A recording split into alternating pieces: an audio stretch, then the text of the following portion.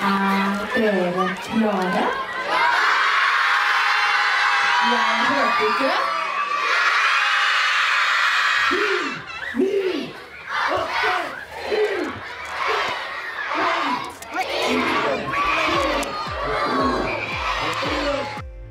Hallo! I dag skal vi ut på tur med Superbussen. Vi skal ha show, og dere skal få se litt hvordan det er å jobbe på Superbussen.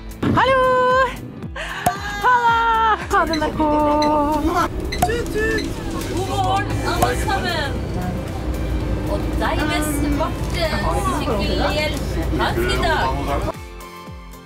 Nå er vi straks framme på turneens første skole. Sånn her ser det ut bak i bussen.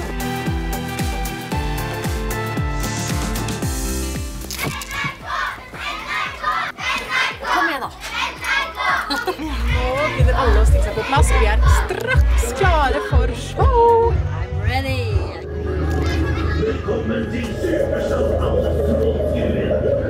Er det klart?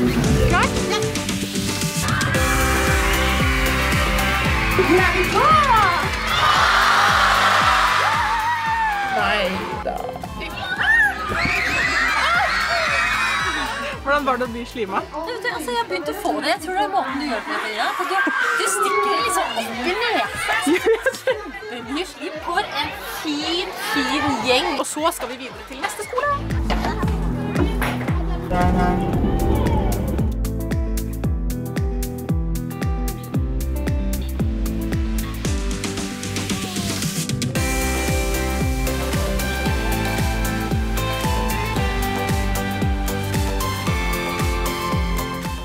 Hello, New York!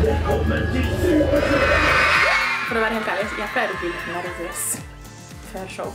Det føler jeg er helt normalt. Det, det tror jeg de fleste blir, men noen ganger så blir jeg sånn Jeg er så redd for å liksom falle av scenen eller besvime eller noe, men jeg gleder meg alltid så mye til å møte dere. Det er altså høydepunktet i dagen. Nå skal vi straks videre til en ungdomsskole, og så skal vi innom noen barnehager. Så det er travel dag, travel dag. Hva er greia med denne masken her? Hilde passer på at vi ikke kjører på noen med bussen. Og her står vi.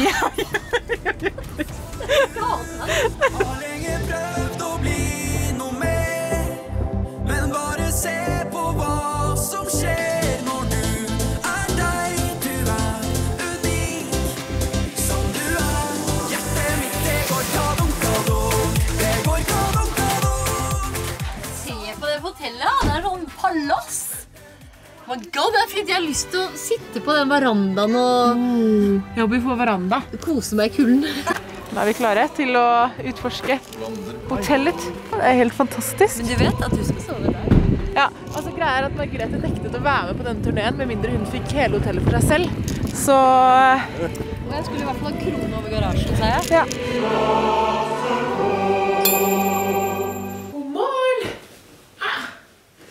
Er litt over sju. Jeg har faktisk litt dårlig tid, så jeg må pakke sammen her på dette flotte hotellrommet. Og så skal vi ned og spise frokost. Og så skal vi på Gol skole og en skole til. Det er travelt, men det er veldig gøy. Travelt, travelt, travelt. Nå skal vi bare suse videre til neste skole. Innom noen barnehager og sånn. Barnehage nummer to for dagen. Nå skal vi gå videre og besøke noen barnehager. Ungdomsskole. Eh, vi har litt dårlig tid. Nå skal vi faktisk innom en barnehage før vi skal videre til neste skole. Besøke en skole til og litt sånn barnehager og sånn. Nå lurer jeg på om vi faktisk skal innom noen barnehager. Eh, hva er det det heter der vi skal nå?